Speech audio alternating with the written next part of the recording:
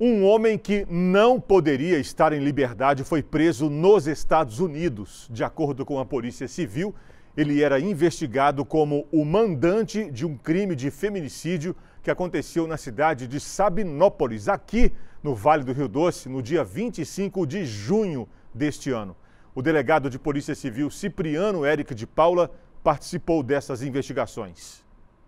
A vítima foi alvejada por disparos de arma de fogo em frente à sua residência e um dos tiros atingiu a cabeça. Devido à gravidade das lesões, essa passou por cirurgia e está em estado vegetativo.